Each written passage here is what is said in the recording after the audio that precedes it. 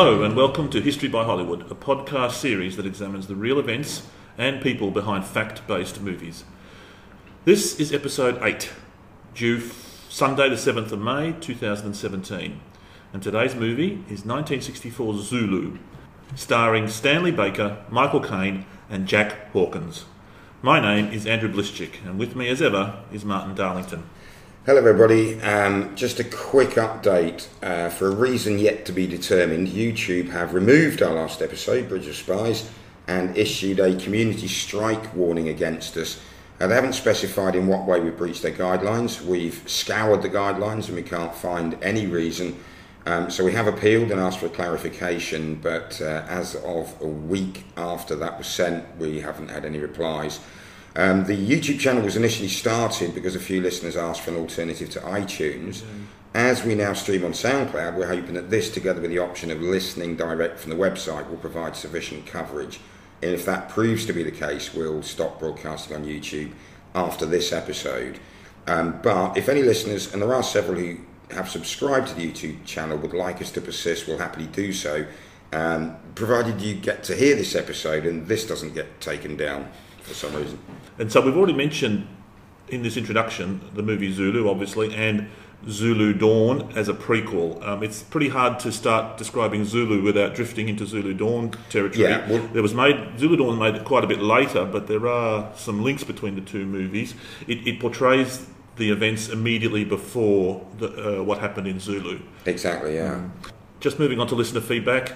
Um, listener Susan Jones, hello. She wrote in, quote, loving the podcast. I'm a fan of history and historical fiction. I'm also a history teacher, so it's handy to know where films and reality diverge. You mentioned a list of upcoming films. Could you consider adding one about a woman? I know Hollywood prefers to make movies about white men, so it's not easy finding good movies that don't fit that pattern, but I hope you'll think about it. Your comments on issues of diversity, for example, the portrayal of the Persians in 300, have been thoughtful and interesting. Thanks, Susan. Yeah, and since then we've we've had a, a to and fro with Susan, and it's it's lovely to have a history teacher Yeah, give us a, sure a seal of right. approval.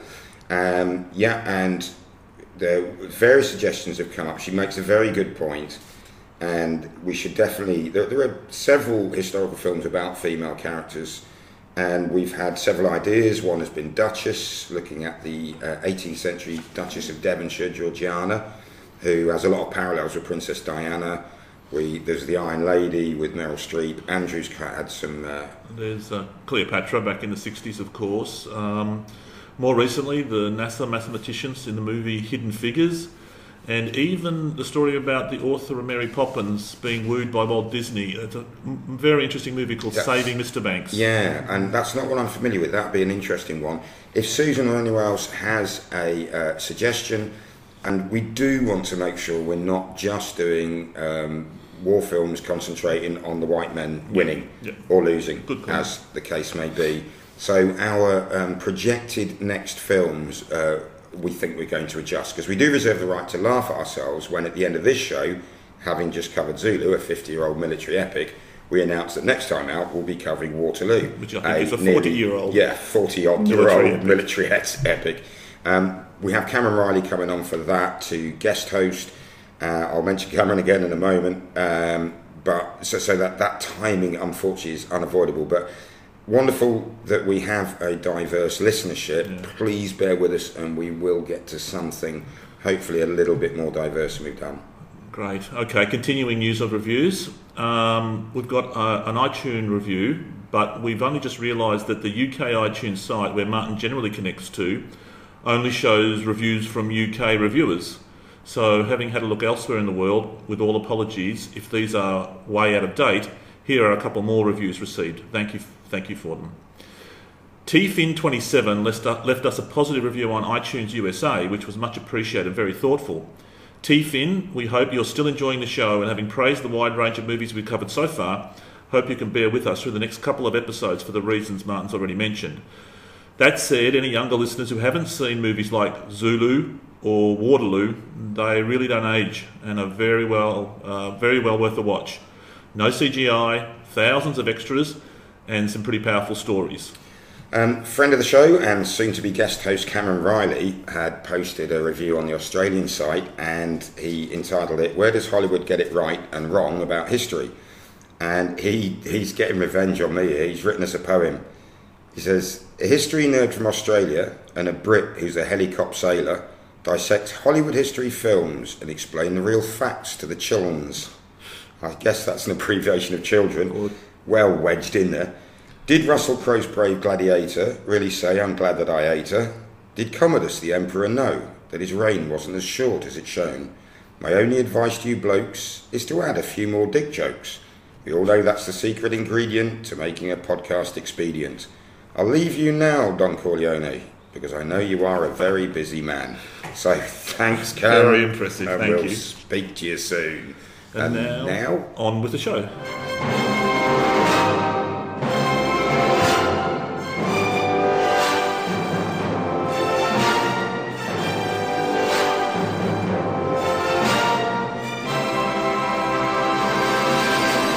Okay, so Zulu.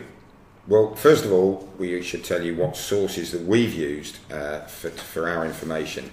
And one of the fascinating ones is the official narrative of the field operations connected with the Zulu War of 1879, which is a amalgamation of regimental records and official unit diaries. Contemporaries of the events. Yeah, absolutely. Um, unfortunately, it's not available on Kindle, but you can. It's still in print. You can buy it. I've got a copy myself, and I'll put a link to that in the show notes. Uh, also, there was Like Wolves on the Fold, The Defence of Rorke's Drift by Mike Snook, who is a former company commander at the Royal Regiment of Wales, who um, the 24th of Foot uh, and, uh, ended up becoming part of for the last uh, several decades. Rorke's Drift 1879 uh, by Edmund Yorke was another one. He's a senior lecturer at the Royal Military Academy Sandhurst. And most of the modern sources draw extensively on memoirs. This is something we really saw, I think, start in the Crimean War, where a lot of other ranks were literate. Uh, other than, uh, unlike with the Napoleonic War, where they're very few and far between. Um, so there's been a lot of account. There were a lot of contemporary accounts, and I mean, one of them, Charles Norris Newman, who was a, a newspaper correspondent, his In Zululand with the British Army is a fascinating read, although very coloured by the correspondent's personal opinions. Again, not available on Kindle, unfortunately, but is still in print. And he's played in the movie Zulu Dawn wonderfully by Ronald Lacey as a rather unlikable, smug observer. Okay, other sources. Um, well, there's the extensive previous reading by Martin, including Ian Knight's Nothing Remains But to Fight, also unavailable on Kindle. There are a number of documentaries you can watch, many on YouTube. Search for Zulu War 1879 or Rorke's Drift.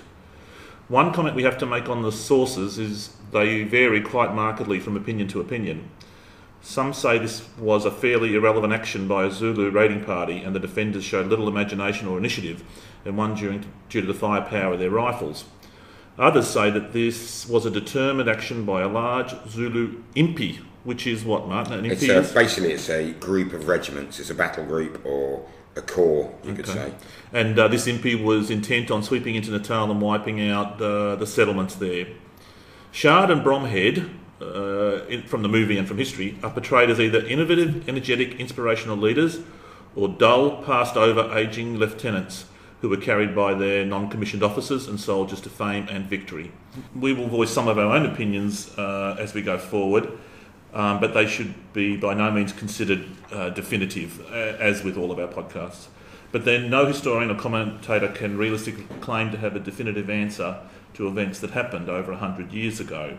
And just before we move on to the movie, I'd like to perhaps state the obvious that this is clearly in Martin's wheelhouse. The battle, the events, it means a lot to him.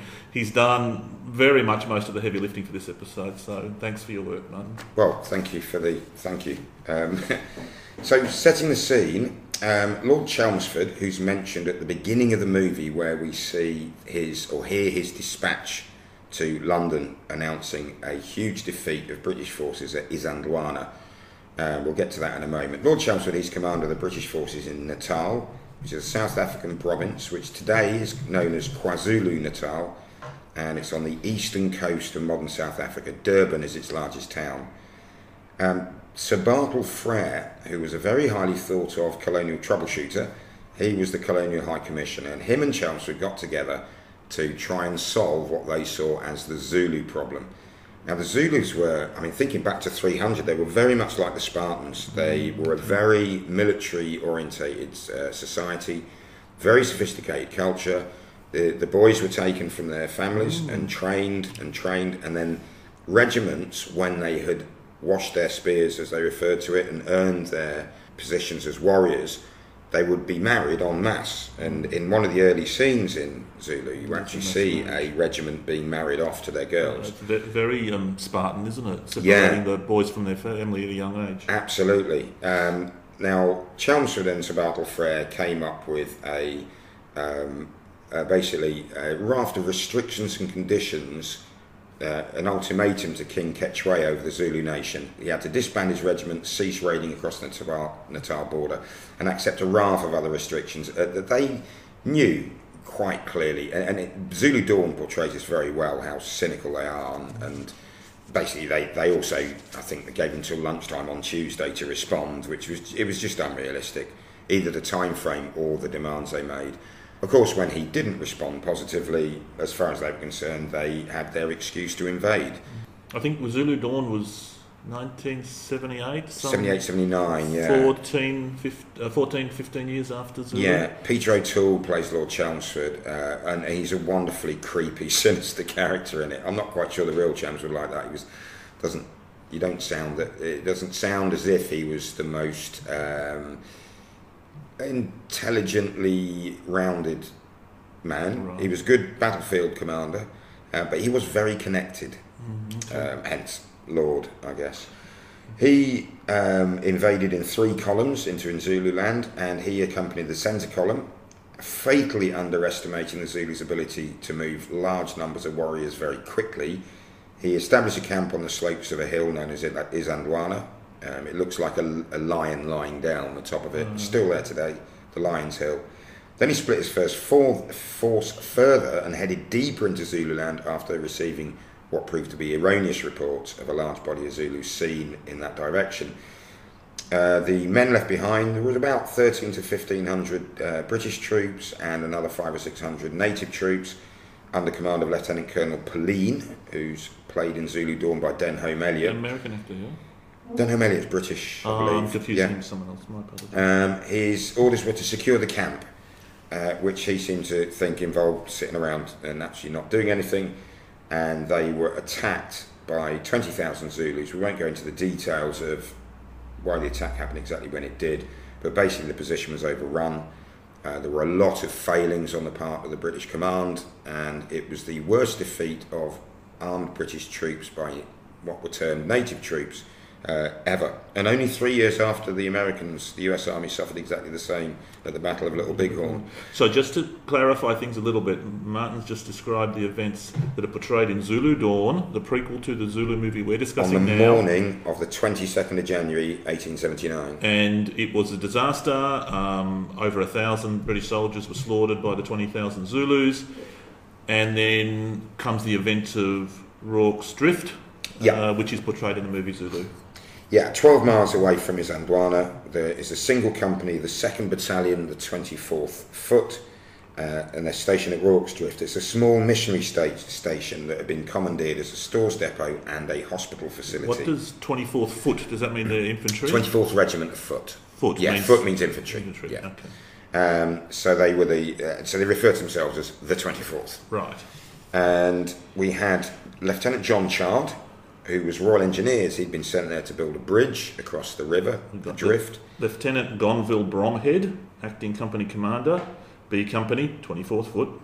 Uh, James Dalton, who we will come back to in great detail, uh, acting assistant commissary, Army Commissariat and Transport Department. So basically, he's in charge of stores. And Colonel Sergeant, Colour Sergeant. Colour Sergeant, thank you. Frank Bourne, B Company, 24th Foot. The Zulu impi that swept down onto Rorke's Drift or towards Rorke Drift three to four thousand. Now these were guys who'd been held in reserve for Isandlwana, and if the Zulus had their battlefield of their choosing, they used to actually make the reserve sit with their backs to the battle, so, So they they wouldn't get get overexcited Oh, and they wouldn't launch too early. And um, they were very, very well drilled and very well organised. Um, But Prince Dabulamanzi, who was half brother to King Cetshwayo, a brave if somewhat reckless leader, he led his regiment with the rest of this impi, with other regiments included, and said, Look, we need to wash our spears. Let's go and attack Rorke's Drift. So, kind of without orders, they went a little bit off the reservation, if you forgive the, uh, the pun, and um, asked later why they attacked Kwa Jim, as the Zulu knew uh, Rorke's Drift, because it was built by a settler called Jim Rorke. Kwa Jim, um, as the Zulus called it, his answer was, we wanted our boys to wash their spears, which is a, a euphemistic way of saying we wanted to kill some Yeah. people and Get earn our spurs. Okay, so this might be a good time to dispel a few myths about the battle. While it's certainly true that the 24th Foot was later incorporated into the Royal Regiment of Wales, and before that amalgamation was known as the South Wales Borderers, the latter title wasn't given to the regiment until 1881 after the battle portrayed in Zulu uh, as part of a wholesale reorganisation of the army. At the time of the Zulu War, their title was 24th Foot and 2nd Warwickshire Regiment. The regimental depot had moved to Brecon, which is in South Wales, a few years before, so there was a slightly higher proportion of Welshmen than usually found in an English regiment, but still only about 12 to 15 percent. And they had no official choir, No. as suggested in the movie. The other part, uh, element of the film that, that is kind of just Bit off. completely made up, but I- I'm hoping we'll manage to work out a reason for it, is the Swedish missionary played in the film by Jack Hawkins, whose name was Otto Witt.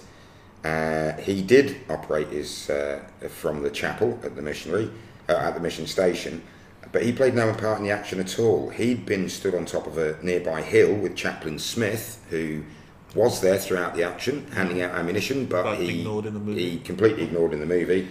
Um, when they saw the Zulu Impi approaching, Witt ran back to the station and, quite understandably, jumped on his horse and rode to his nearby um, farm where to get his family out. Yeah. Um, Witt claimed later that he had, this is the real Otto Witt, that he'd preached to Cetshwayo and believed he was on the verge of converting the Zulu king to Christianity.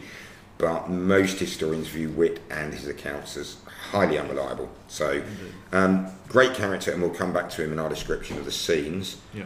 So, I think we should start looking at the opening scenes of the movie. So before we dissect the scenes of the movie, let's tell the story of the movie itself very briefly. Zulu is a 1964 blockbuster set in South Africa. It portrays the battle between the colonising British Army and Zulu warriors at Rorke's Drift in January of 1879. It starred British actor Stanley Baker and a very youthful Michael Caine. It was directed by American screenwriter Cy Endfield. It was produced by Endfield as well as the film's main star Stanley Baker. I think as well, I think this was Michael Caine's first named role. Major role, that's for sure. Yeah. He's in the credits at the start, like, with. and introducing Oh, Michael right, yes. Caine, isn't it? Yeah. And just that whole link between Zulu and Zulu Dawn, where you, you end up talking about both whenever you talk about the other. Um, I think that uh, Zulu Dawn, the screenwriter, was the director of this movie, Cy Endfield, who was mainly known to Hollywood as a screenwriter. Right. So they called him in for the sequel 14 years later. Wow. Um, it's based on a lengthy article on the conflict called The Battle of Rorke's Drift. It was a critical and box office success, costing 3.5 million to make and taking 8 million at the box office. Uh, it doesn't seem to have won any major awards in its release, but is often listed as one of the greatest British movies of all time, and currently has a 93% positive score on Rotten Tomatoes. It has entered popular culture, Martin, as a high watermark in British cinema Yeah, certainly amongst men. of a certain age. Yeah. It was shot in studios in England and mainly on site in South Africa. It runs for two hours and 18 minutes. So the the uh, the film opens with the aftermath of Isandlwana, the Just, uh, ba- wreckage of the just battlefield. becoming known yeah, by the protagonists red jacketed bodies all over the place, and then cuts to Cetshwayo's kraal, his uh, village, where dancing warriors are about to partic- participate in a mass marriage. That's easy for me to say. Missionary Otto Witt, played by Jack Hawkins, and his daughter are speaking or sat with Cetshwayo uh, when a messenger arrives with news of the victory at Isandlwana.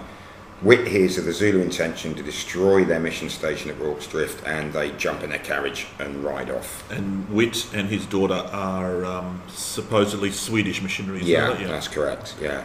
Okay, then we, the next scene we see for the first time the main players. Uh, Lieutenant Gonville Bromhead is out hunting. He's played by uh, Michael Caine. Lieutenant John Chard is labouring to make a bridge. Yeah, and there's a, there's a few bits and pieces of uh, the the, uh, the contrast between Bromhead out Yeah. shooting and, and missing a leopard and Yeah, a uh, bit of a I think it's a leopard or a cheetah. Yes, yeah, a bit of a, a, a, Uh, a Playboy. dandy. Yeah. And John Chard getting down and dirty, down to his shirt sleeves in the water. And then Bromhead rides down, sees him, and we have this rather wonderful encounter. Who are you? John Chard, Royal Engineers. Bromhead. 24. I'll tell my man to clean your kit. Don't bother. No bother. Not offering to clean it myself. Still, a chap ought to look smart in front of the men. Don't you think? Well, Chin Chin, do carry on with your mud pies. Great stuff. Uh, next, the next scene we see Colour Sergeant Bourne, played by Nigel Green, strolling around and keeping an eye on the troops. We cut to the hospital, and for the first time we see Private Hook, who's introduced as a slightly anarchic figure. We also meet Sergeant Maxfield, who has a fever and is delirious. Yeah, uh, going back to Lieutenant Chard, oh, he meets Private Owen, who's Private Owen. practicing going la la la la la la la, and he says to him, uh, "What are you doing?" He says, "Oh, I'm practicing for the choir." But you've got my top tenor in the water. Something. Sorry, do please forgive the dreadful Welsh accent. Um, having worked there for eight years, it should be better than that. And he says every Welsh regiment has a choir. And it's around this point that two riders are seen heading fast towards the post at Rorke's Drift.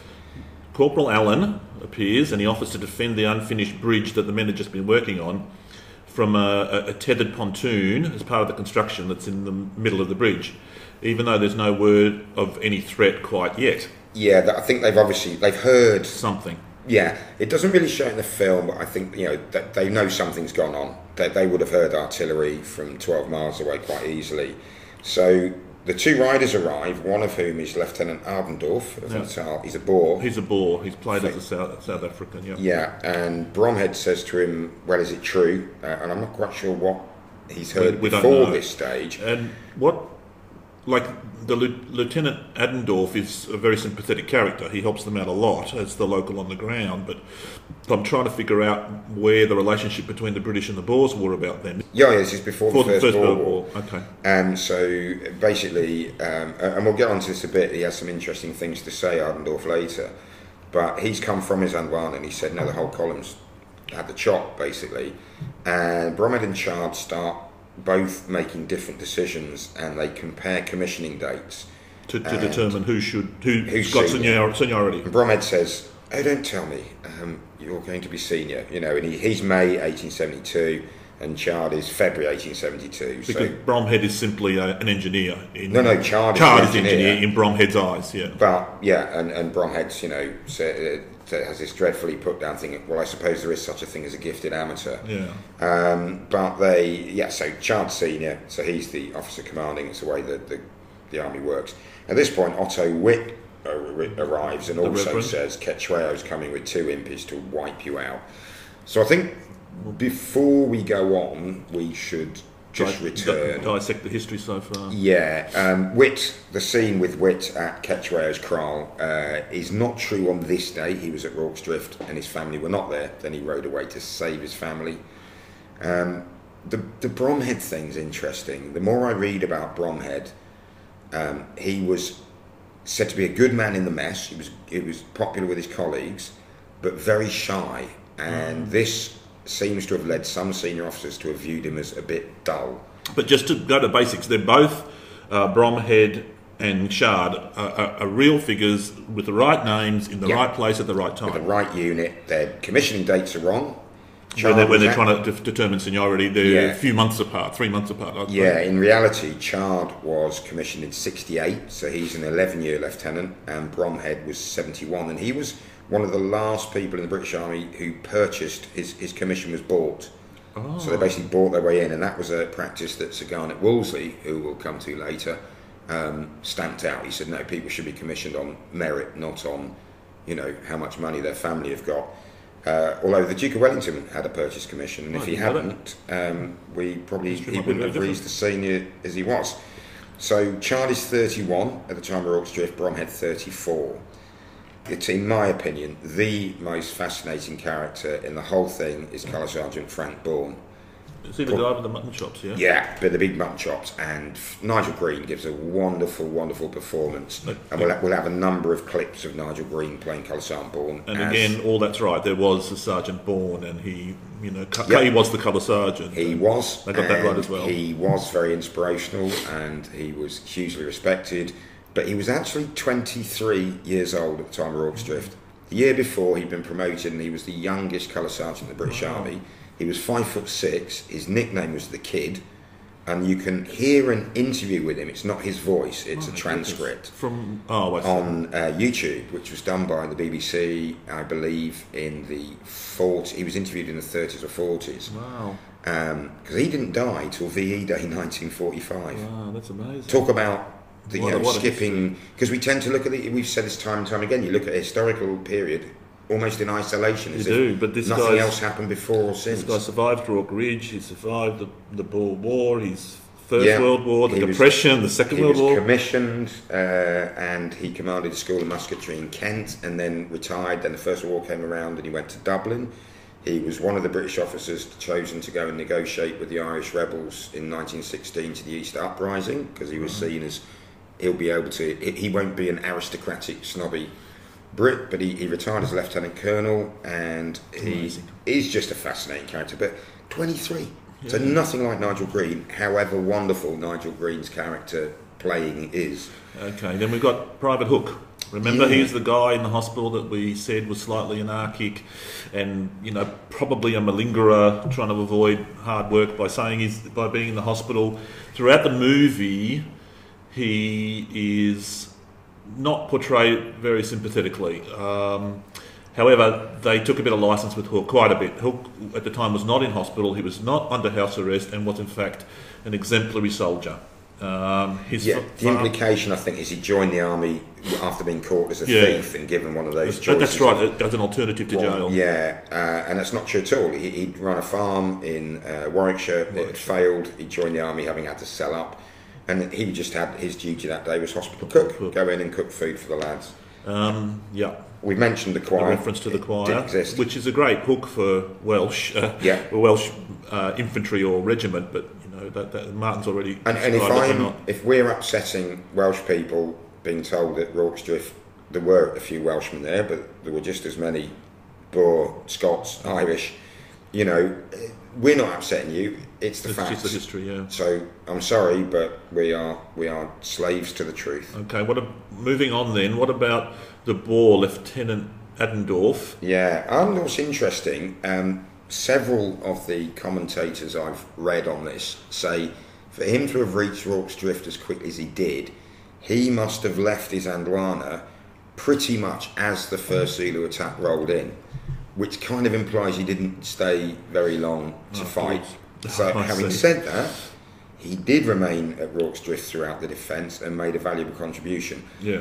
Um, the bit about Corporal Allen offering to defend the unfinished bridge is true, but it wasn't Corporal Allen, although he is another genuine character who we'll come back to. It was actually a Sergeant Milne of the 3rd Buffs uh, who What? made the offer. Buffs. Uh, it, it's a regiment. right. It was just the name of a regiment. I think they were South Coast uh, England. And basically, what we've got with Adendorff and Witt, and then shortly afterwards, which we'll describe shortly, Lieutenant Stevenson arriving, there were actually multiple fugitives seen.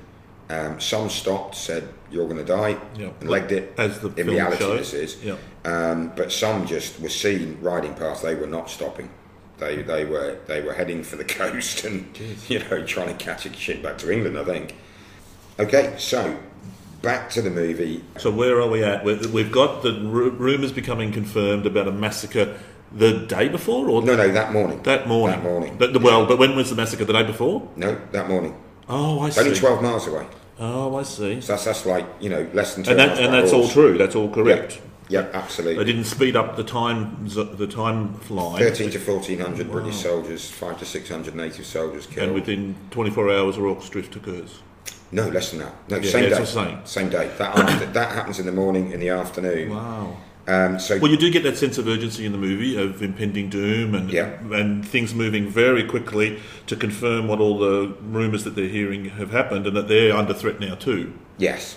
So back to the film. Sergeant Windridge, who is another real character, uh, a strapping guy by all accounts, and he's certainly portrayed as that. He's the sergeant with all the muscles in the Yeah. film. Um, he sends two of the Welsh lads to the top of a hill and says, "You've got a good voice. Sing out if you see anything." So they go up there, and meanwhile, Chard is organising preparations to defend the base by building walls from mealie bags and biscuit boxes.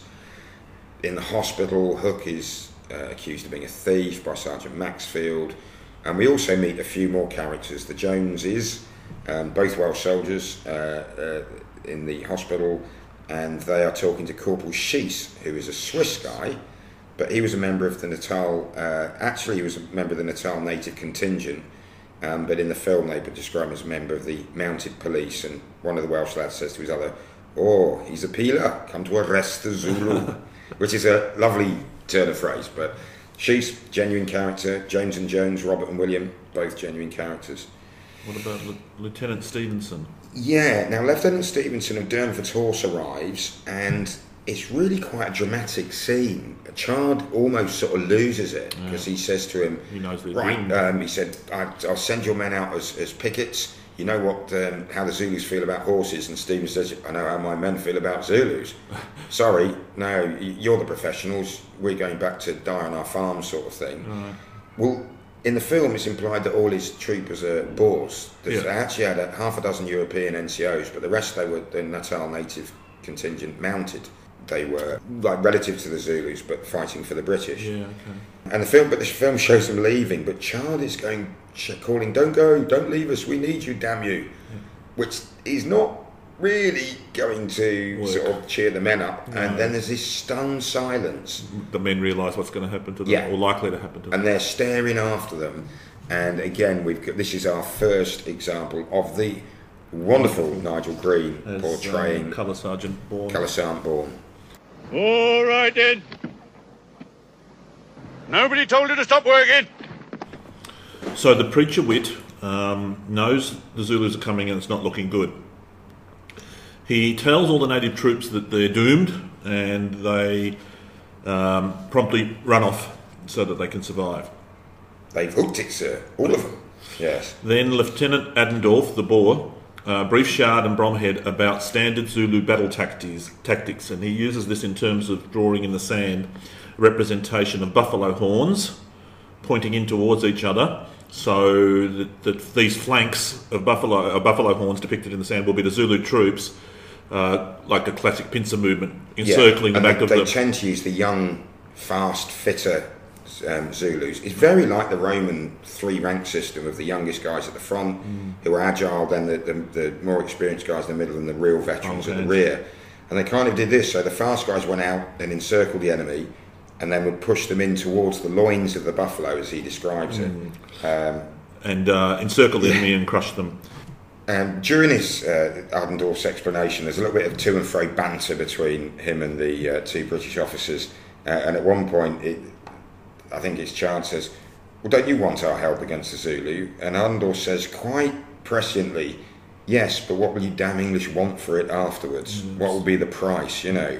And I think that's. It, it's got some really interesting nuances, this film, and how it portrays things. Yeah.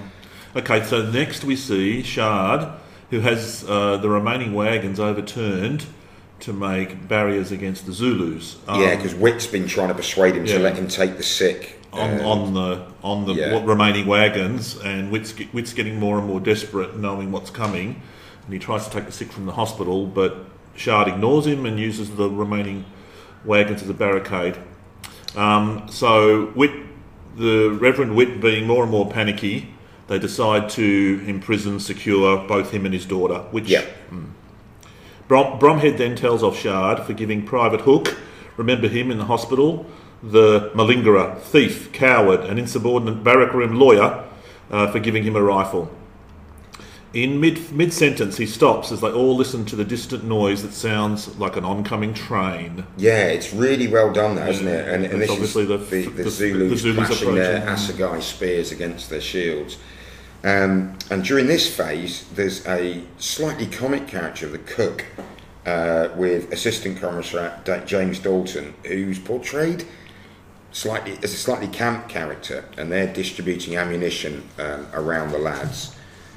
And I think before we go on to the next bit, we'll just go back and look at the reality of this. Okay. Um, the sending of the sentries to the top of the hill. So this is the reality check for the second phase. Yeah. In truth, Colour Sergeant Bourne actually took out a platoon of men. Well, it's described as a section, but we believe it was between 20 and 30 men. And they lay out a picket. But also, Lieutenant Stevenson did deploy his men as scouts. Right. It was when they detected the Zulu impi approaching, then they came back in, told Chard and Bromhead they're coming. Coming. The native troops didn't stop. No. They kept going. Stevenson called out something about, I'll, I'll, I'll go and fetch my guys back, and left. And this infuriated the British defenders who had already had their, at, or at this stage, their um, infantry native, Natal native contingent did leg it. Right. So their numbers have gone from 450 down to like less than, or just only just over 130 of able-bodied men, and some of the defenders did shoot at the riding away horsemen, and one of the European NCOs, a Corporal Anderson, was actually killed. Um, so I mean, really, it's a crime's been committed. Yeah. It's never reported officially. Lots of people mentioned it, but not in Nothing about official reports, and it was kind of yeah. We're not going to go into that in too much depth. Officially, I think Anderson was killed by enemy action. Yeah, and then we have it confirmed that our suspicions about Private Hook being a malingerer, a thief, and a coward, uh, an insubordinate barrack room lawyer, um, which was not true at all. We've already mentioned that they portray him uh, badly uh, and incorrectly. Yeah, Um, and this is really where I start to question why Chard. It's funny when the film came out. I think a lot of people looked at it and said, "Wow, amazing, incredibly brave." These guys that I mean, that must All have true, been bowel-wateringly scary. Um, and but then there was almost like a revisionist approach of actually Brom, Bromhead was deaf in one ear, and they were they'd been lieutenants for both of them, you know, approaching in just over a decade respectively, Bromhead and Chard, and didn't really do that much except just sort of stand and, and shoot guns. Actually, this is where Chard not only reinforces the outer wall, but mm. then starts to build what he called retrenchment positions where they could fall back to. Also, he's now had to shorten his perimeter because he's lost 300 Many, many. native troops. But what isn't shown in the film is James Dalton, the assistant, acting assistant commissariat. Chard gives him credit. He was the one who said, "I've got a store full of mealie bags there. They're like sandbags. Yeah. I've got a store full of biscuits, metal biscuit tins. Let's use those." Now, what isn't clear in the film is James Dalton was a company sergeant major for over 20 years in the British Army. He was decorated. He was a renowned good fighter. Uh, I don't mean in punch ups in the bar. I mean, you know, in terms of he'd seen a lot of action. He left the army, gone back to London, didn't settle at home, joined the, the commissariat's de- um, department as a effectively a commissioned officer. so, so Dalton, who in a, in reality came up with the ideas for the barricade and was a, you know forthright, Well, he came up with the ideas of what they could use they to could build use, yeah. them. And Yeah, Chard, yeah, yeah. Chard, all the way through, gave said it was And- it was me, Bromhead, and Dalton that came up with the plan and the means to carry it out.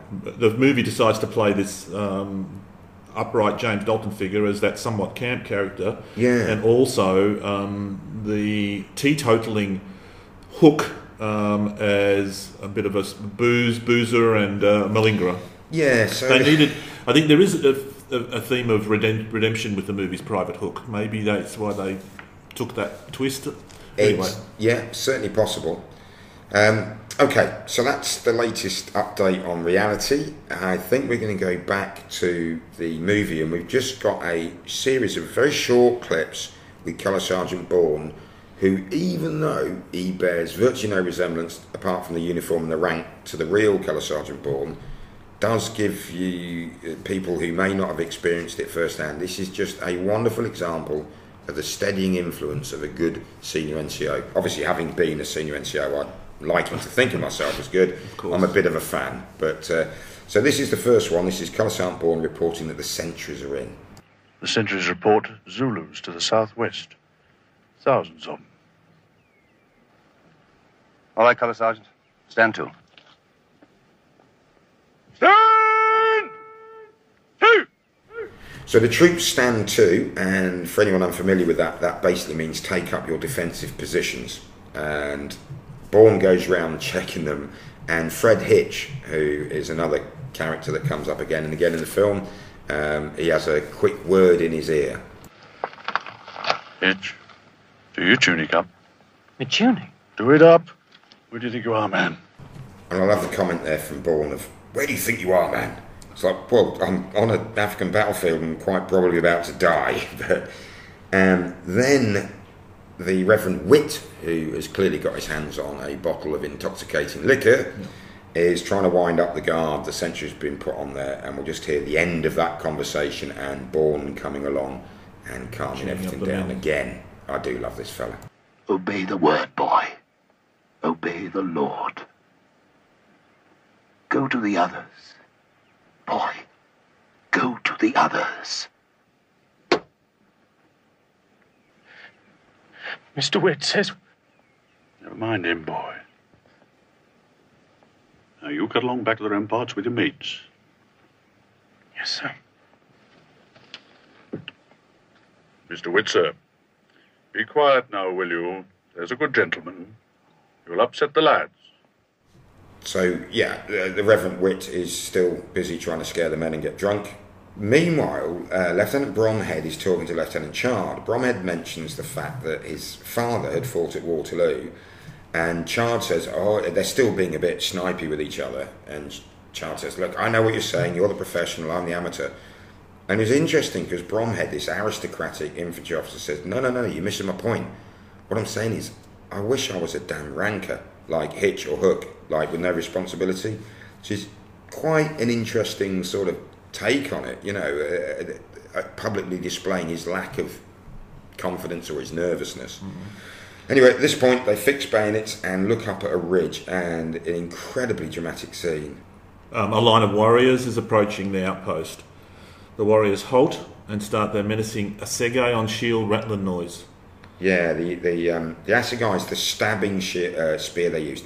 Apparently, they did have throwing spears, but uh, whether they were a bit like the Spartans, they saw them as womanly weapons, the Yeah. ones you throw. But they, they seem not to have really used them. No, but that that scene, you know, when you when they look up and the camera pans round and you've got regiment after regiment of these Zulus just appearing over the, the ridge, and you, it's it's so awe-inspiring. So, someone tried to tell me that this movie had the most extras ever in a movie. Maybe at the time it was made, it was, but Yeah. that, that that gong goes to Gandhi that had 300,000 extras. Yeah, But yeah. there were an awful lot of um, Zulu warriors. might have had that at s- some stage as well. Certainly Zulu Dawn had a heck of a lot of extras, and this is all pre CGI. So Yeah, yeah, yeah. And they're all portrayed, all the people portraying Zulu warriors pretty much are Zulu warriors at the Yeah. time, aren't they? yeah.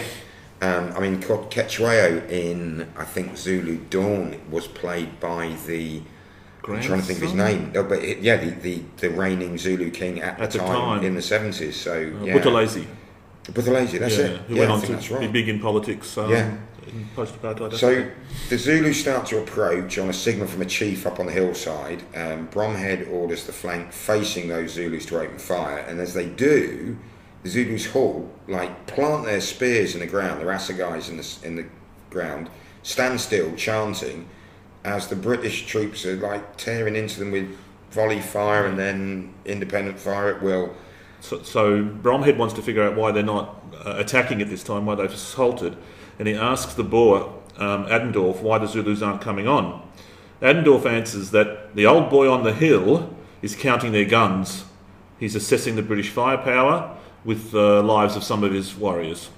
Yeah, and at this stage, um, the Witts uh, are, are finally after this first attack, if you like. It's not really an attack, but um, Witt starts up again, and he's very three sheets to the wind. He's very drunk, And Chard says to Colour Sergeant Bourne, put the Witts on their cart, send them away. Bromhead says, you can't send them out there, they won't stand a chance.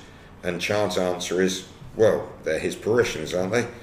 And it looks really brutal, Yeah. but the Witts do leave, and um, he has another parting shot, after which a, a young trooper asks Colour Sergeant Bourne, um, I think he's looking for some reassurance, and I can't really say he gets, Gets it it. this time, but here we go. You're all going to die! He's right. Die! Why is it us, eh? Die! Why us? Because we're here, lad. Nobody else. Just us.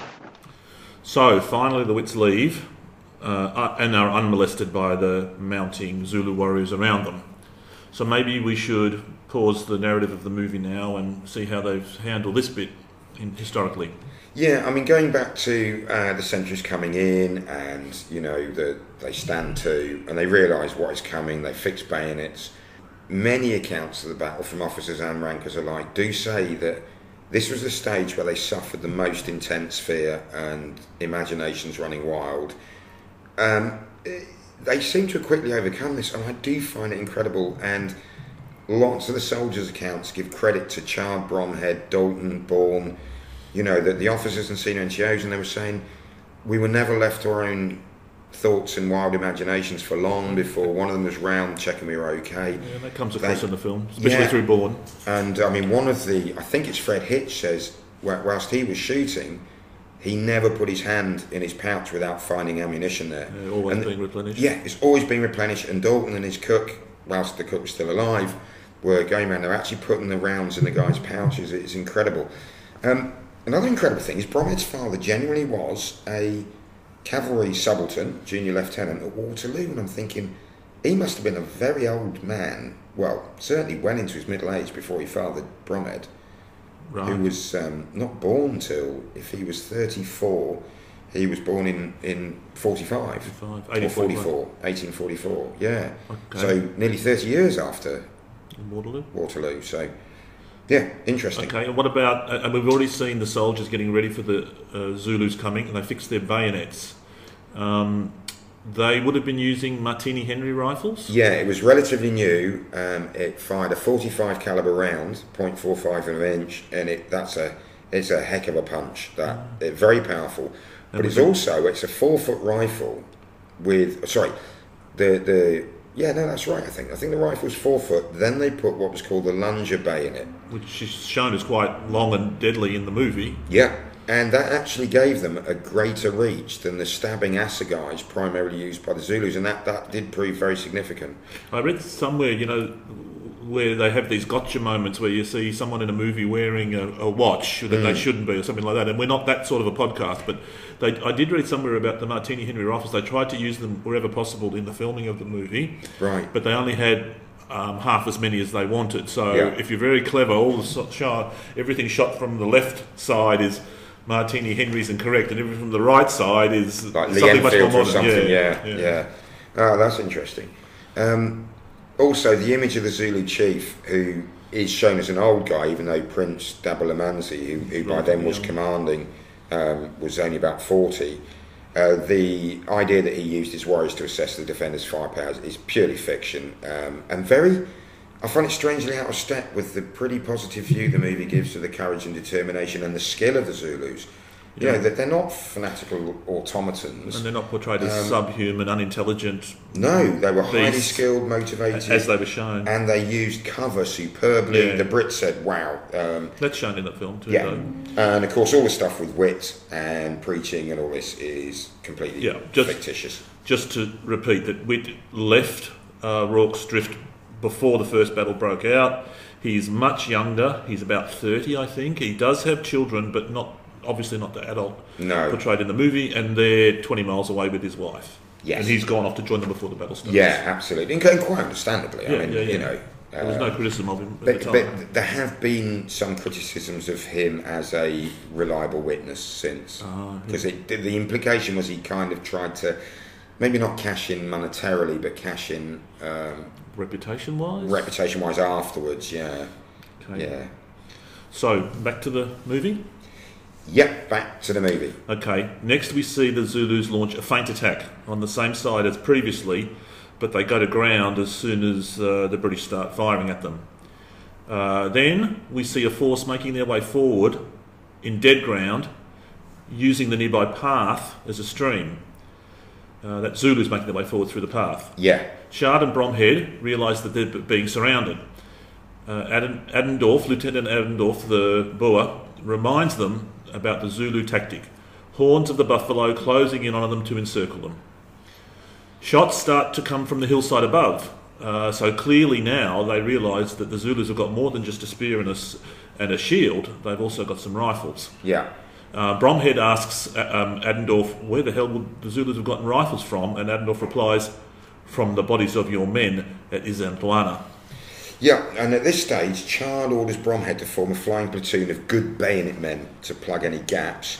Um, Corporal Hitch, uh, sorry, Corporal Allen and Private Hitch are both hit by these Zulu marksmen. Hitch had jumped up on onto the top of the uh, mealy bag wall to get a better view, and they're both then hit, and they're taken to where Surgeon Reynolds has set up his surgery in the church. Um, and then the Zulus finally launch a proper attack at the north wall. A lot of them get to the defensive wall, some get over, and we see Sergeant Bourne leading the defence with rifle and bayonet. And then Bromhead charges with his flying platoon, his reserve platoon, to plug the gap. Um, Chard then finds himself attacked by two Zulus and is knocked to the ground. The final Assegai thrust is blocked by Corporal Schiess Schiess. Schiess, thank the you. Swiss, uh, yeah, the Swiss Natal native guy. with his crutch, uh, blocked by S- S-. Schiess. Um, uh, yeah, Sh- Schiess now has uh, an injured foot.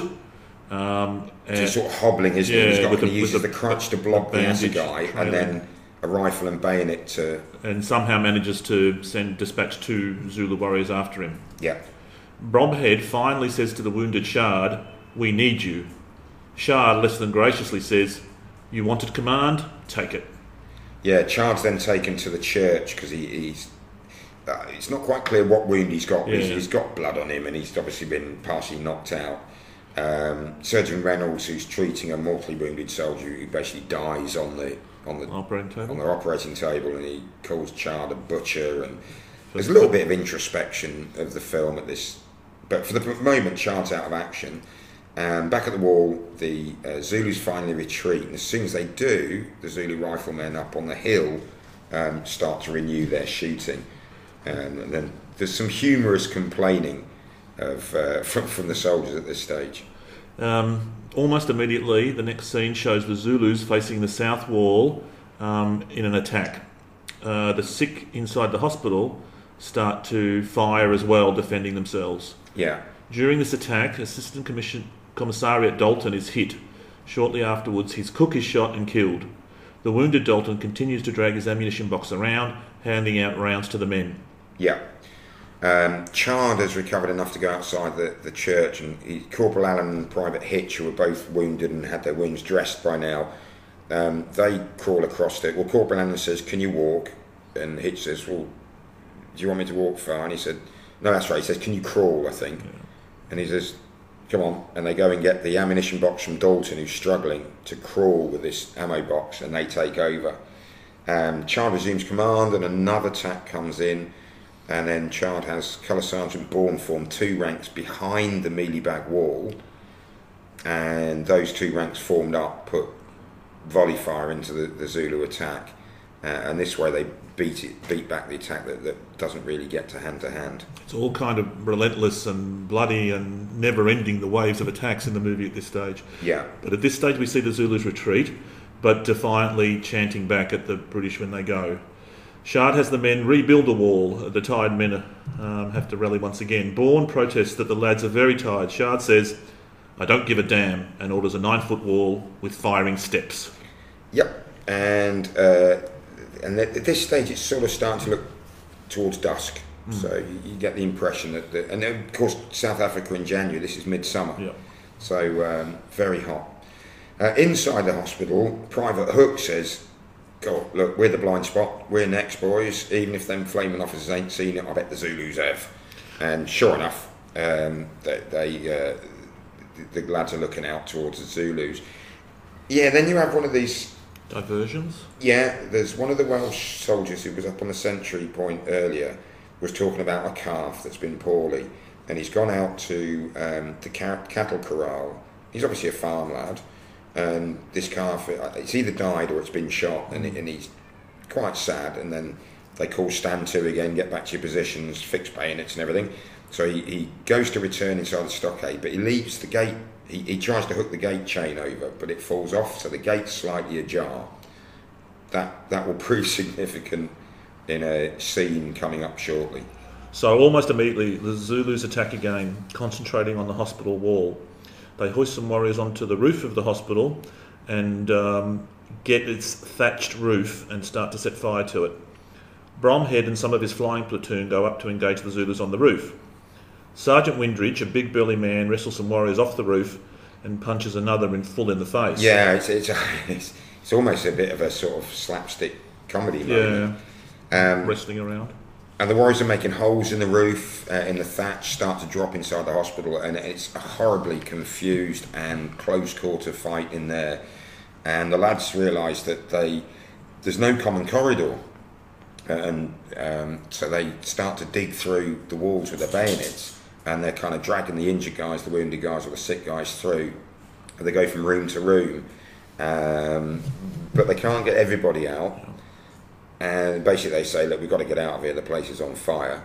So we have Hook and his buddy John Williams. They're the rear guard. Hook tries to go back for Sergeant Maxfield, who's shouting, "Hook! I told you I'd make a soldier of you." He obviously has some personal history, but he goes back from him nonetheless, killing several Zulus in the process. But then the roof caves in, and Hook's forced back, and, and he watches as Maxfield is stabbed.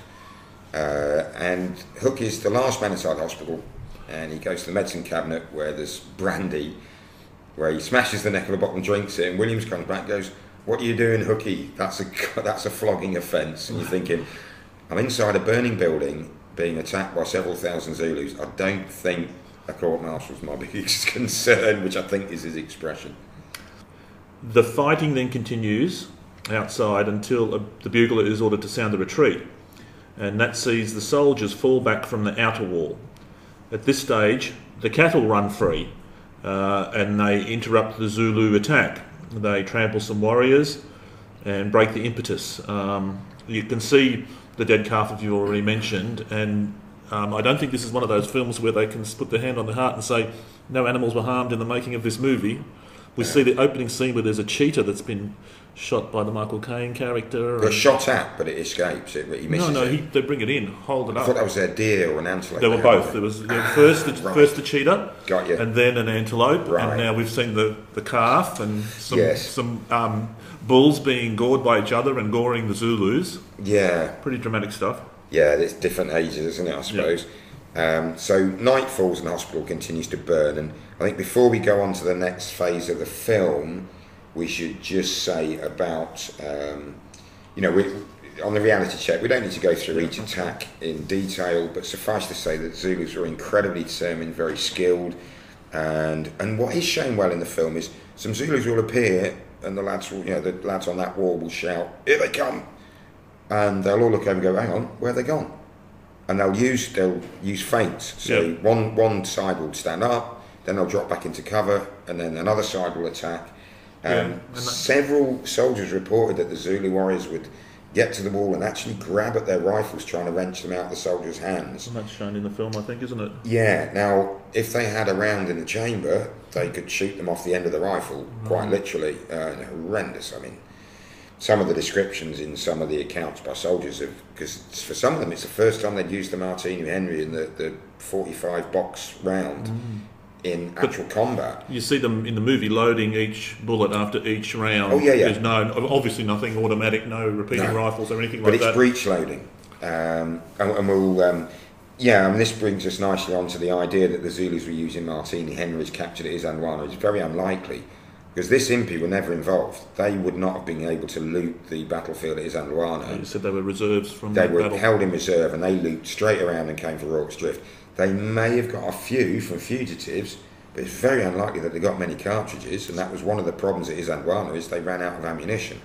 And if, So- if all the historical records and memoirs are just simply silent on that matter, we don't. You know, no one's going to say, "Oh, we're surprised that the Zulus didn't have rifles," so we can't really confirm and negate. Well, they did have firearms. They Yeah, but at that lot, battle, But, but but no, no, exactly. But oh, sorry, do you mean at, at Isandlwana? No, no, no. At um, Rorke's Drift. Drift. Yeah, they had a lar- large number of firearms at Rorke's Drift, but they don't think if there were any Martini Henrys, there may have been a few carbines they got from uh, the mounted troops, but they're short barreled to be used on a horse and not very accurate.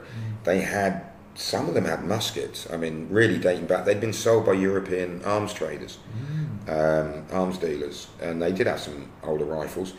Bromhead's flying platoon with Sergeant Windridge is absolutely spot on, and it was in truth very successful at plugging gaps, reinforcing sections coming under pressure. Um, and Frederick Schiess, the Swiss corporal, was reported to he fought like a tiger throughout the whole thing apparently. But Dalton, interestingly, there's a bit in the scene where he says, "Hey, somebody pop that fellow! Well done, young man."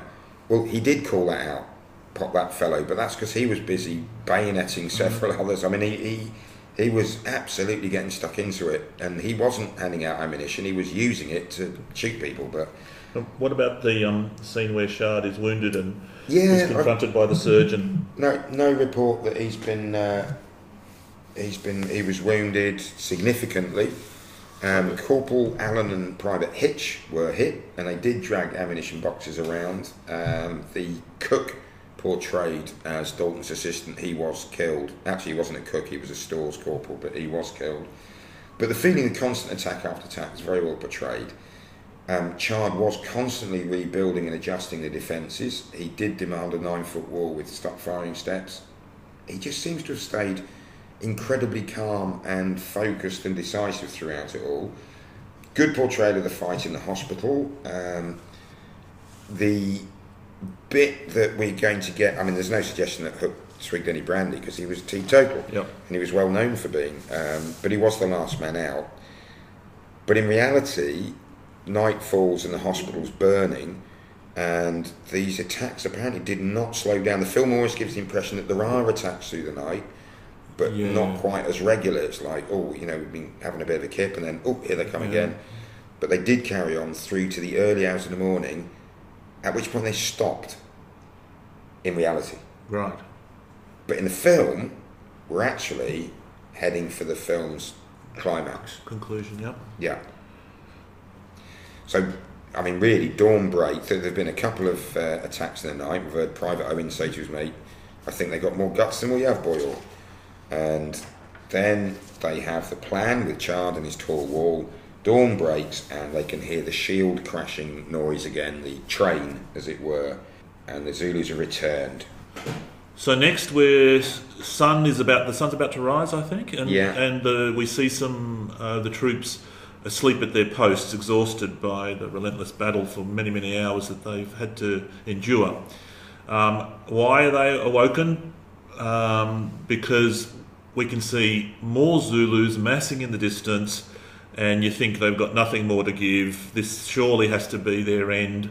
Um, the Zulus that are coming, menacingly coming, are initially silent. Um, the impression given that they are surrounded, surrounding the men. Um, a, haunt, a haunting song starts up from the Zulus, and in one of the film's most famous scenes, Chard approaches Private Owen, and listening to the Zulu singing, he asks if the Welsh couldn't do a better job. Owen's laconic reply is that they've a terrific bass section, but no top tenors, that's for sure. I can't do a Welsh accent. Before, can I. before his men strike up with Men of Harlech. Quickly, um, it catches and all the men join in. and probably one of the most iconic films in this and This- many other films. this scene, yeah. So uh, we're just going to have a quick listen to that.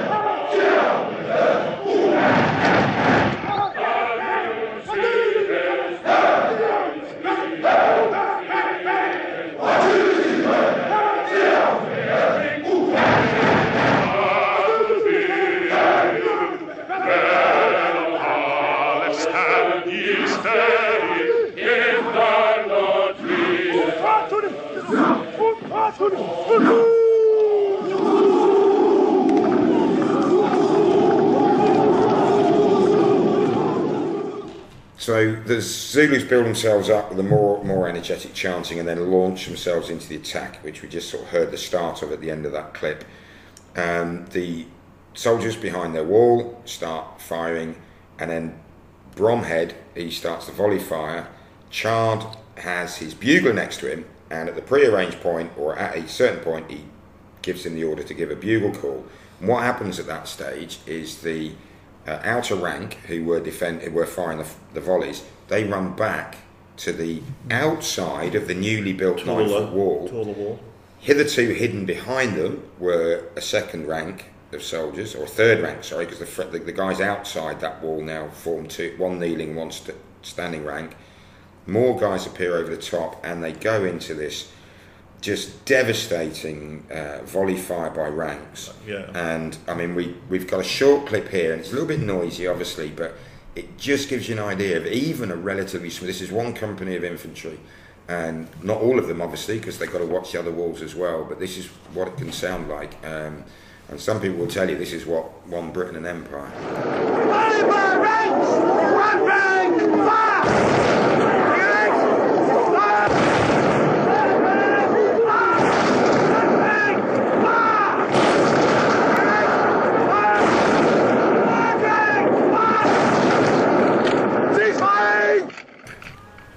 So clearly, the strategy of the higher wall to fall back to with some fresh men to alternate with the other men uh, has worked.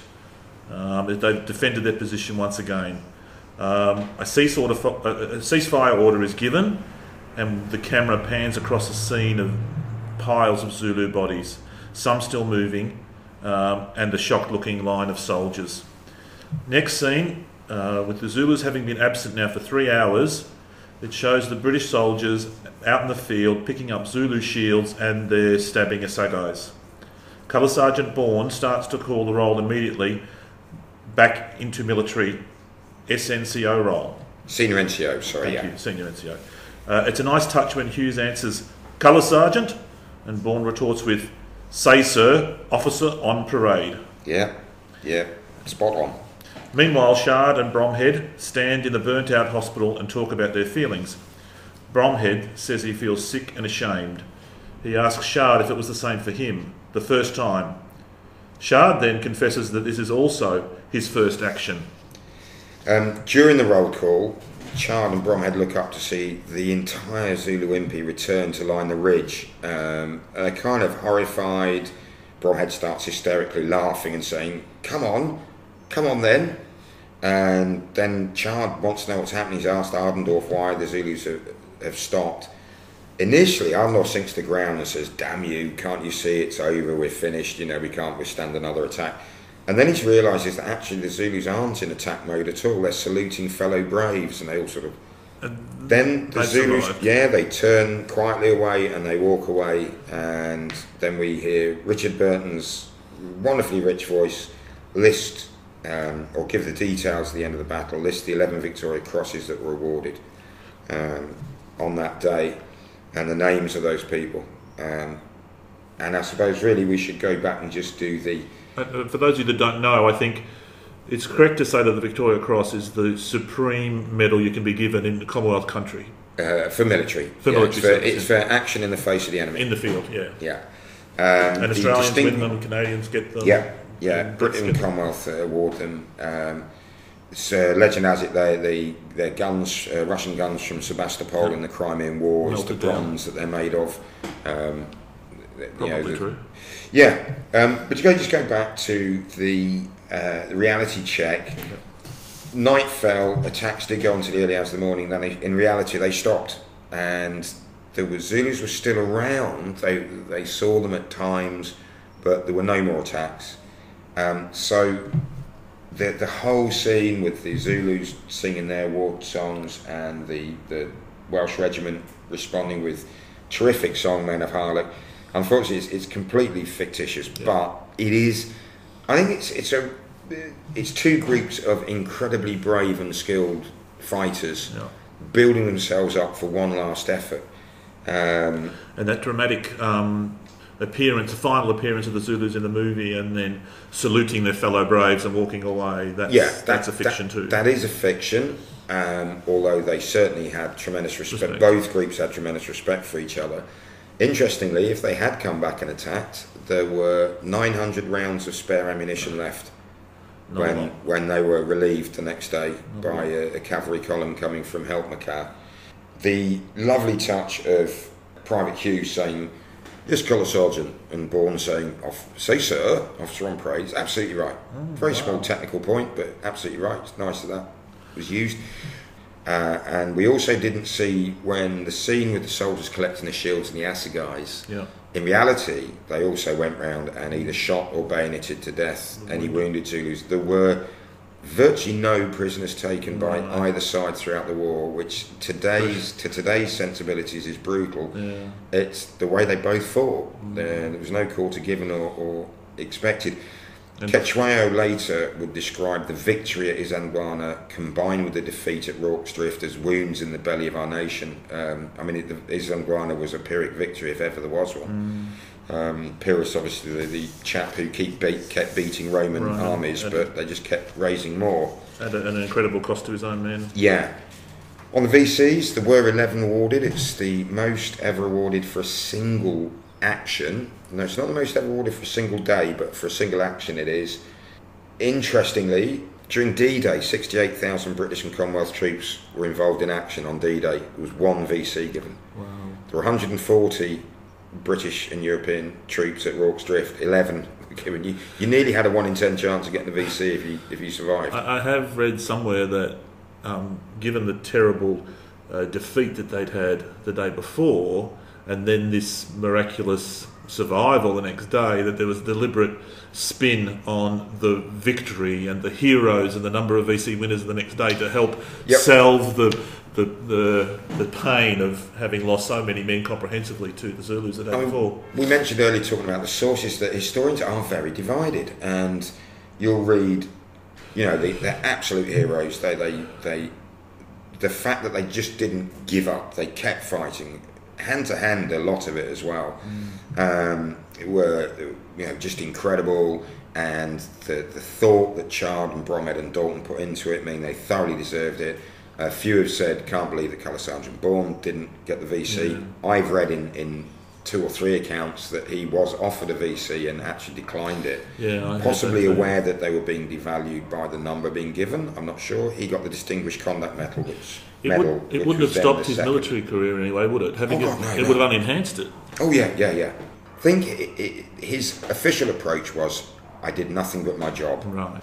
Um, you know, Very noble. I did it very well, maybe. But whereas Private Hitch, Private Hook, um, the Williams brothers did go. Uh, the old thing was above and beyond the call of duty okay. in the best traditions of the service, etc. Chard and Bromhead, I think. I mean, Bromhead at one point, Hitch couldn't fire a rifle because he'd been wounded, so he gave his revolver to Hitch. He said, "Well, I've got a rifle and bayonet. I'm in the flying platoon. Take my revolver." And gave him some rounds. He really does seem to have cared about his men, looked after them, known them, Well, worked well with them, and Stanley and- Baker obviously had a high regard for the historical characters that Yeah. were portrayed, including and and he accepted that Chard was in charge, and very quickly they started working together. The only thing the film does is downplays Dalton's role, and Dalton was quite um, key. Uh, Chaplain Smith went round handing out ammunition because he, he meant to leave, but then found out that his servant and his horse were both mysteriously missing when he got Yeah, down off the hill at the beginning. Well, did you come across any of the interesting trivia associated with the movie and um, Baker as the producer? And you know that apparently, according to movie mythology, all of the extras had pretty much never seen a motion picture before, didn't know what on earth they were trying to do. So apparently, um, Baker, as the producer, uh, arranged for some screenings, open air screenings of silent movies. Right. Yeah, like uh, Laurel and Hardy and the like, and they went down a huge treat. And also, this is um, apartheid, South Africa. Yeah. So the Zulus weren't um, entitled for payment. They weren't allowed to go into cinemas to see their own movie. So the producers of this film ensured, I, I'm, I hope I'm getting the facts right, that everyone involved was paid something in maybe cattle or livestock or, or in Mm-hmm. kind. And apparently Baker managed to get uh, a screening for the extras, and they did get to see their movie somewhere. He, he's a certainly. The more I read about Sir, Sir Stanley Baker, as he became a fascinating character. I, I don't know. I wonder if Simone Higgins has done an episode. Simone, have you done an episode on Sir Stanley Baker? And if not, please could you do one so we can Good call. find out about him. I, I think you have to take your hat off as, uh, from a military perspective to both sides for doing. And one of the things the Zulus learned that going up against a properly prepared defensive position was no, very, very risky. Uh, what I think the British learnt was if you're in a properly prepared defensive position, you can take on much larger numbers of Zulus, but at Isandlwana, if you're not, expect to have a horrible, horrible shock because these people are not messing. Chelmsford was massively criticised by Sir Garnet Wolseley, who was head of the army at the time. He was the senior general commanding. He shipped out to take over, but by the time he did that, Chelmsford had regrouped, re-entered Zululand, and defeated them at Ulundi, mm. which took the wind out of Wolseley's sails. And Wolsey had nothing good to say about pretty much anyone involved in the South African Zulu campaign other than the rankers. Okay. The Chard and Bromhead he described as stupid, dull fellows who didn't impress him at all. But Chard went to, back to London. He had at least three audiences with Queen Victoria. Um, Queen Victoria visited Private Hitch in hospital. Wow. She, ah, she, I mean, she was famous for looking after her boys as Right. she thought of them and looking after them. I, I think Chard and Bromhead did rather well. If I'd have been able to just focus and be a damn ranker and fire my rifle in the face of that fear, especially on the back of, they just lost a whole bunch of their mates. Yeah, within the day. And the Ian Knight book that, that was uh, out, I think, in the 80s is very good. There's nothing, nothing remains but to fight. It, it was a kind of, what else are we going to do? Well, the, the film makes plain there's about between three and four thousand Zulus Hmm. coming on um, the encampment. It doesn't actually say how many British soldiers in the movie. Uh, Around about hundred. It's a hun- 130 to 140 of whom uh, about 20 were invalids of varying degrees. Of in- I mean Maxfield, Sergeant Maxfield was, was delirious with fever and absolutely unable to participate. Corporal Schiess had a wounded had a hurt foot and uh, he fought like a lion you know. Um, I did say tiger earlier. I think lion is more appropriate Perhaps, but seeing as they're on Africa. I mean marks out of 10 entertainment oh, I think it's great. it's, it's a 9 Yeah, it's a nine. For me, it's a nine. Me It's- too. it's- really good.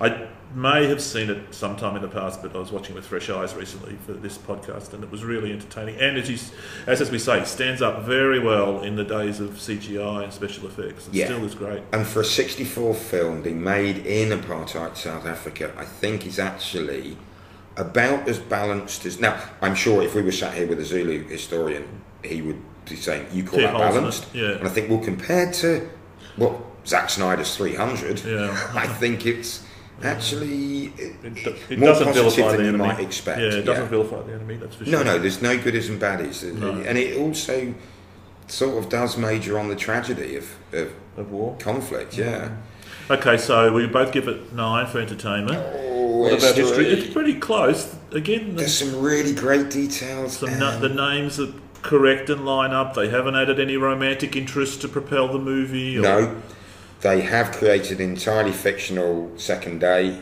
Uh, Yes, they true. have created And that whole whole thing with. Otto Witt. Yeah, Um, Okay. The fact that they were Welsh when in Yeah, fact that's a big- Not the only my explanation for that. I don't think is please believe me. I don't see anything sinister in it, but I think the Hollywood producers or Stanley Baker and Cy Endfield have looked at it and they've gone 24th of foot. Oh, the, all the British Army regiments have amalgamated that many times. What are they part of? Royal Regiment of Wales. What were they called that before that? South Wales Borderers. Oh, Brecon's in South Wales. That's where they were based. Okay, They must that be must be them. Because Richard Burton at the end, A Welshman. and everyone's about to hear um, the wonderful Richard Burton's voice, or Richard Burton's wonderful voice. He says, uh, Gonville Bromhead, Lieutenant, 24th of Foot, South Wales Borderers. And they weren't. They were the 2nd Warwickshire Regiment at the time. Two years two years later, then they became the South Wales Borderers. right. And So- well, making them a bit more Welsh than they really were probably plays to that whole fiction about having a choir and Oh, wanting a yeah, baritone yeah, and all that. yeah. History, I, I can't go higher than seven. No, I, I was going to go higher until this closing conversation. I agree, seven. Yeah. It's good, but it's not perfect. But 18 out of 20 on, on entertainment uh, is What it's all about. Yeah, well, it's ninety three percent on Rotten Tomatoes, There which is go. which is not a forgiving website. You've got to be pretty good to get up there. Mm. So, two weeks' time, Cameron Riley will be joining us to look at the battle that changed the future of Europe, the Battle of Waterloo, another nineteen sixties seventies huge War epic. wa- war epic, um, and this had sixteen thousand extras in it or something. But until then, what I suggest we do, we will go out with a list of the men and officers who were awarded the Victoria Cross at Rorke's Drift. Not forgetting Prince Dabulamanzi and his Zulu warriors, but this is Richard Burton listing the officers, and then I think there's a little bit more of uh, male voice choir singing Men of Harlech.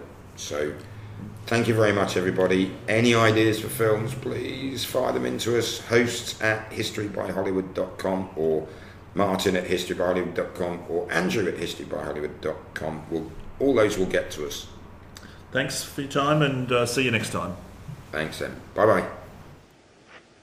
In the hundred years since the Victoria Cross was created for valor and extreme courage, beyond that normally expected of a British soldier in face of the enemy, only 1,344 have been awarded.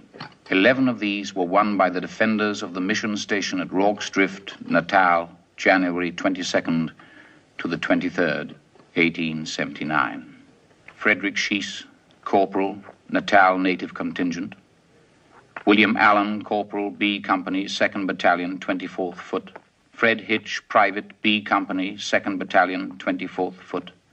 James Langley Dalton, Acting Assistant Commissary, Army Commissariat Department. 612 John Williams, Private, B Company, 2nd Battalion, 24th Foot. 716 Robert Jones, 593 William Jones, Privates, B Company, 2nd Battalion, 24th Foot. Henry Hook, Private, B Company, 2nd Battalion, 24th Foot. James Henry Reynolds, Surgeon Major, Army Hospital Corps. Gonville Bromhead, Lieutenant, B Company, 2nd Battalion of the 24th Regiment of Foot, South Wales Borderers.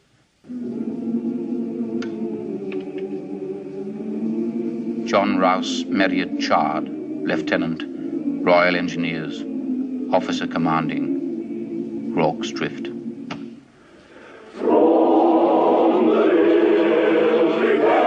Amen.